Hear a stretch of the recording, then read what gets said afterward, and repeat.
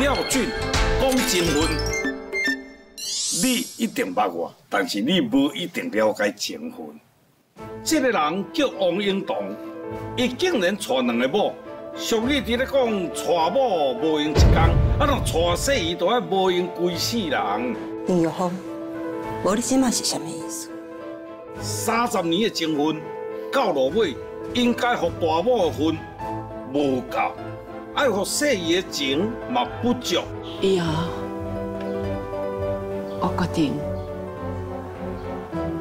我家己的人生我家己做主。你看，到落尾相头无前后，过来就是我甲杨丽出现，上精彩的就是，诶，我讲还无完的啦。